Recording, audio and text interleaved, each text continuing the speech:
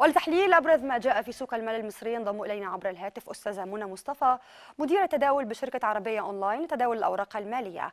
مرحبا بكم على قناة اثري ببرنامج أرقام واسواق أهلا وسهلا بحضرتك. أهلا بحضرتك يا فندم. بداية أستاذة منى البورصة المصرية تواصل اداؤها المتباين. منذ بداية الأسبوع ما بين الارتفاع والانخفاض أبدأ مع حضرتك من المؤشر الرئيسي الذي ارتفع اليوم بنسبة طفيفة. هل ذلك بسبب عطلة عيد الأضحى أم هناك أسباب أخرى؟ مظبوط. يمكن إحنا النهارده أو يعني شفنا تماسك نسبي شوية على المؤشرات خاصة الثلاثيني بعد التراجعات الصباحية اللي هو كان مني بيها على مدار النص الأولاني من الجلسة أو حتى يمكن كمان لحد الساعة واحدة واحدة ونص من من ساعات التداول. إلا إننا شفنا تماسك على المؤشرات لو بصينا كده اجمالا على تداولات الأسبوع هنلاقي إن طب طبيعي إن يكون في أداء متباين ما بين الأسهم القيادية والأسهم الصغيرة خاصة مع وجود يعني عدة محفزات إحنا ممكن نشوفها على مدار الأيام أو الأسبوعين اللي جايين الأسبوع الأخير من ستة وتقفيل موازنة الدولة وميزانيات المؤسسات والبنوك الحكومية وبالتالي ده شكل لي ضغط شوية على أداء الأسهم القيادية اللي كانت الأساس في ارتفاعها خلال الفترات اللي فاتت المشاركة المؤسسية وبالتالي ده عمل أو حفز عمليات البيع والضغوط البيعية على الأسهم الرئيسية أو القيادية وخاصة التجاري اللي شاف عمليات ضغط بيعي اشتدت معانا على مدار جلسة أمس والنهاردة.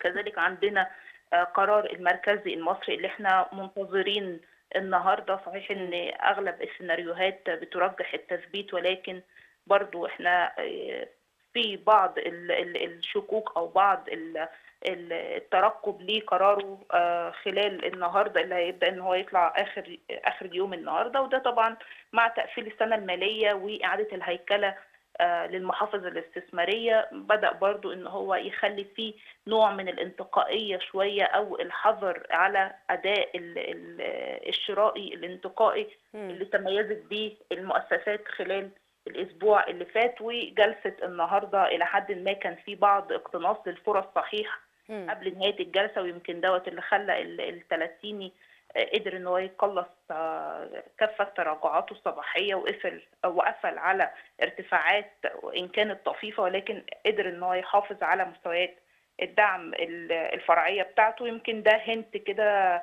إيجابي شوية صحيح. بتداول الحد والاثنين اللي جايين إن شاء الله قبل نهاية عطلة عيد الأضحى. عيد الأضحى. كل سنة وحضرتك حضرتك بألف خير. طيبين.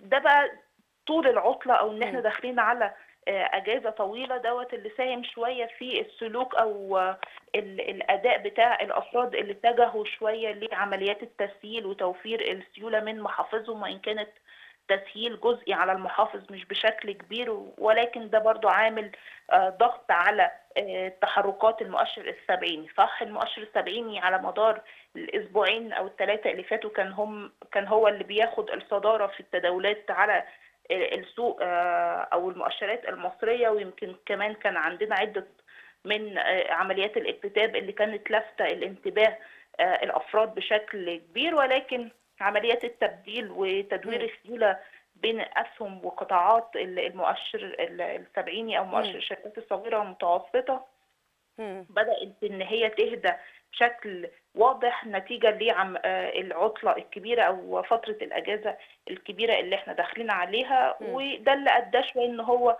صحيح قفل في المنطقة الحمراء ولكن بشكل طفيف برضو ما ما كانش فيه لأن أكيد أستاذة منى وحضرتك تتفق معايا في هذا الرأي إن الحكومة أو الدولة بتهتم جدا بالمؤشر الشركات الصغيرة أو المتوسطة.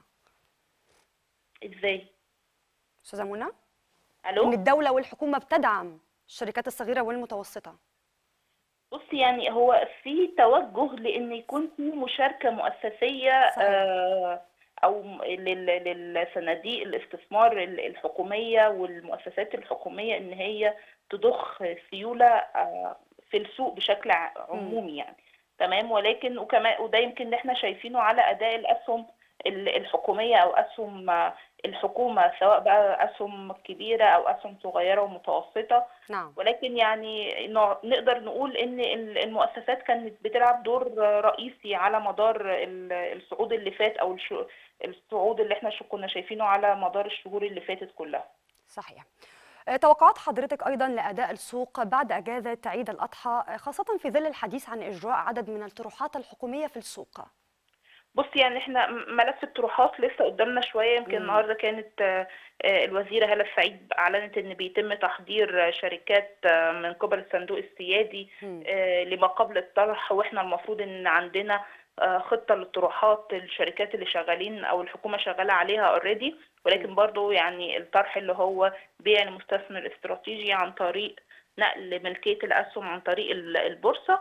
فده مش هيبدأ إن هو ينشط لي بشكل كبير ولكن ال- الأساس عندي هو إن يحصل لي استحواذات أو عمليات ال- الشراء اللي بتحصل على الأسهم المقيدة already وبالتالي بيحصل لي إعادة لتقييم الشركة دي وأصولها واللي بيبدأ إن هو يعمل لي تسعير للقطاع وعليه القطاع الشركات المدرجة في القطاع. فبنلاقي زي مثلا ما حصل مع آه، سهم مصر الجديدة اللي بدأ إن هو يتكلم آه، في إن يحصل فيه استحواذ بدأ إن هو آه، يشوف ارتفاعات وبدأ إن يحصل معاه رفعة لأسهم القطاع سواء الصغيرة أو الكبيرة. كذلك سهم حديد آه، الدخيلة اللي بدأ إن هو يسعر فبالتالي بدأنا نشوف ارتفاعات على حديد عز وعتاقه وحديد وصلب وهكذا.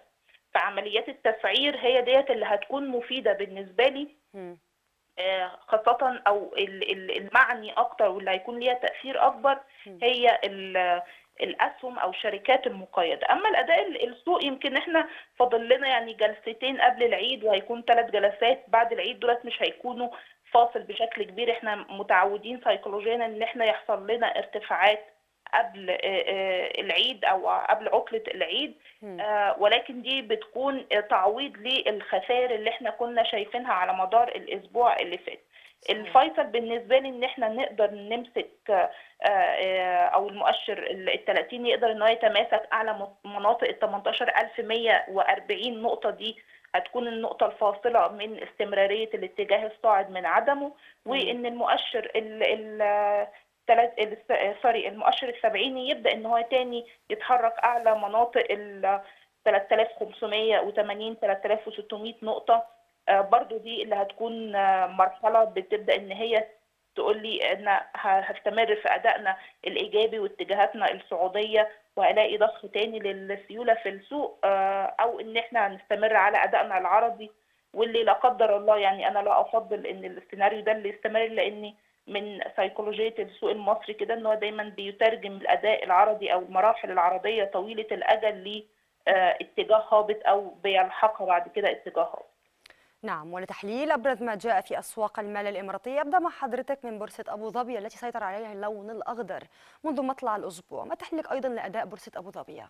بص يمكن أبو ظبي بي- بيحاول إن هو يعني زي ما بنقول كده بيتحسس الخطى شوية. لعمليات ال- الشراء وإن كانت برضو بنشهد آه، معدلات هادية جدا للتداولات وده اللي باين على الفروق السعرية وحركة المؤشرات وكمان على آه، قيم التداولات اللي بدأت إن هي بعد ما كنا في الأسبوع اللي فات بنشوف آه، قيم تداولات مرتفعة جدا بدأت إن هي تتراجع دون المتوسطات كمان مش آه، مش مش لمتوسطاتها فبالتالي أبو ظبي بيحاول إن هو يوصل تاني أو يحاول يثبت نفسه تاني قرب مناطق 9600 نقطة آه، اللي كان تراجع منها من قبل كده. آه، صحيح إن الفروق قليلة وزي ما حضرتك نوهتي إن ال- الارتفاعات النهارده هامشية جدا آه، سواء على أبو ظبي أو على دبي ولكن. ده بيرجع أعتقد لبرضه فكرة إن إحنا داخلين على أجازة طويلة. وإن سلوك الأفراد بتميل دايما إلى الاحتفاظ أو الميل دايما الاحتفاظ بكاش في المحافظه عن الأسهم في ظل آه،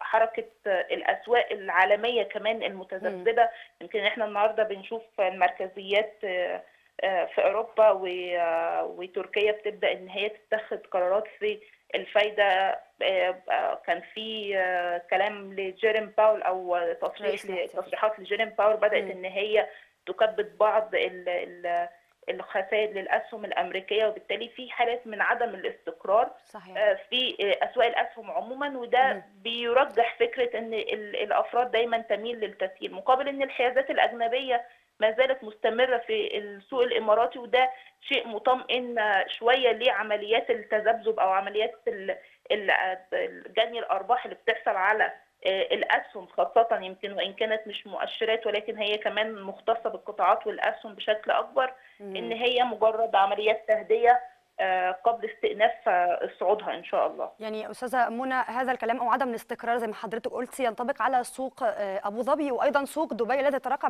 تراجع بشكل طفيف اليوم أيضا؟ مظبوط. يمكن سوق دبي النهارده آه، آه، أداؤه آه، كان عرضي بشكل كبير على مدار الجلسة أو طول الجلسة كان الأداء العرضي هو سيد الموقف. عمل حركة التداولات كانت ضعيفة قيم تداولات آه، أدنى من متوسطاتها. كذلك عمليات التسهيل ال- الكبيرة كانت هي اللي بتعوق من استمراره ويمكن إحنا شفنا إن من أول الأسبوع بيحاول ان هو يتجاوز مناطق المقاومة بتاعته 3800 نقطة ولكن كانت عمليات البيع بتعوقه بش- بشكل كبير يعني. أعتقد إن إحنا هنلاقي ضخ للسيولة تاني أو معاوده لعمليات ضخ السيولة تاني في المؤشرات آه، سوق دبي آه، بعد أجازة العيد. ممكن إن هي تبدأ نشوف تاني ارتفاع لمعدلات ال- التداول أو قيم. التداول. ودي زي ما قلت لك إن الحيازة الأجنبية ما زالت مرتفعة أو المستثمرين الأجانب ما زالوا متواجدين بشدة في آه، سوق دبي خاصة كمان.